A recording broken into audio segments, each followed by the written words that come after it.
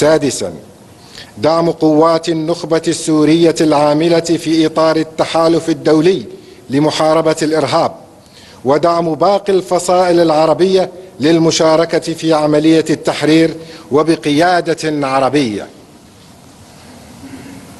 وقد تم الاتفاق على تشكيل المجلس العربي في الجزيرة والفرات. ليكون معبرا سياسيا عن مصالح سكان المنطقة وحقوقهم ودورهم في إدارة شؤون محافظاتهم والمشاركة الفاعلة في رسم مستقبل سوريا.